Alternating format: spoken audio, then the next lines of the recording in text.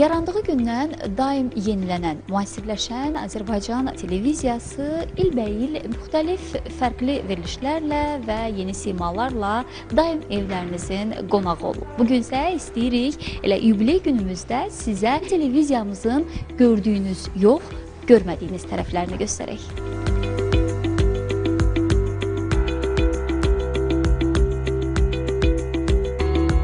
Televiziyanın ana sütunu, əsası xəbərlərdir. Təbii ki, xəbərlərinin hazırlanıb sizə təqdim olunduğu bir məkandayıq. Hal-hazırda efir gedir və efirin də hər bir saniyəsi bizim üçün dəyərli, olduqca məsuliyyətli və diqqətli olmaqdan ibarətdir.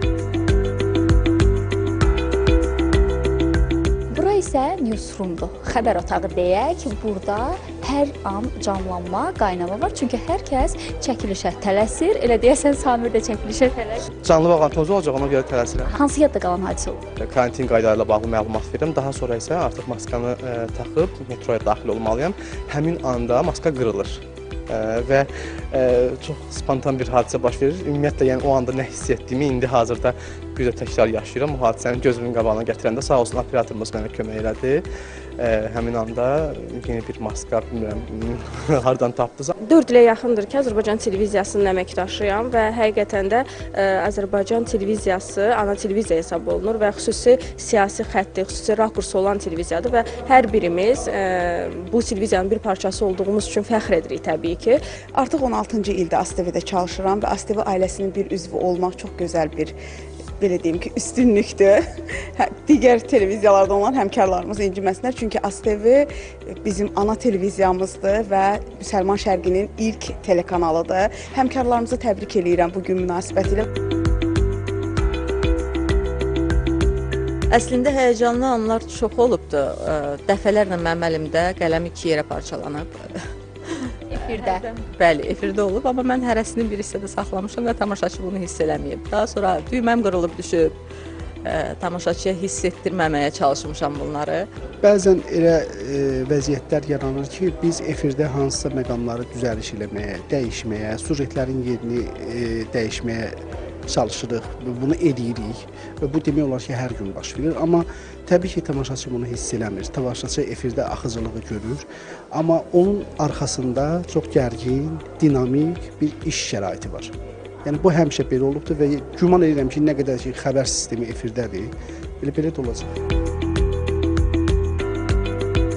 Azərbaycan televiziyasının ən maraqlı tok-şousunun çəkildiyi studiyadayıq bura. Əsas məsələnin studiyasıdır. Studiyada isə Ətayə Ələmdar qızı və onun qonaqlarıdır.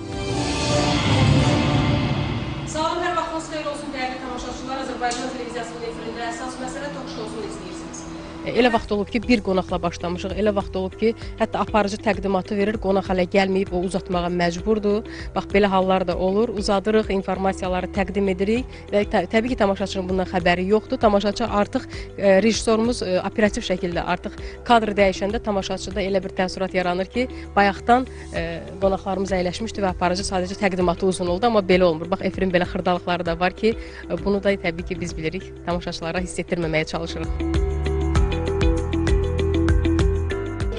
İsə əsas məsələ tok-şousunun yaradıcı və texniki heyətinin əyləşdiyi otaqdır. Veriliş demək olar ki, burdan idarə olunur.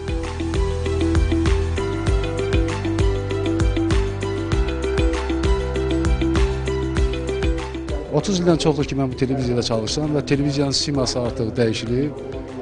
Həm görüntü, həm məzmun, həm forması etibarilə indi demək olar ki, tamaşaçının əsas üst tutduğu ünvan, birinci ünvan ASTV-dir. Niyə? Çünki ciddi siyasi məsələlər burada müzakirə olunur, təhlil olunur. Televiziyada əsas görüntüdür. O görüntünü sizə daha keyfiyyətli təqdim edənsə böyük bir komanda əməyidir. Bəli, burada səhər efirindən başlayaraq bütün verilişlərin özünün xüsusi yaradıcı və texniki heyəti var. Böyük bir komanda işini görürsüz. Elə biz də öz komandamızın Telesəhərin simasında bütün həmkarlarımızı bugünkü tarix münasibəti ilə təbrik edir.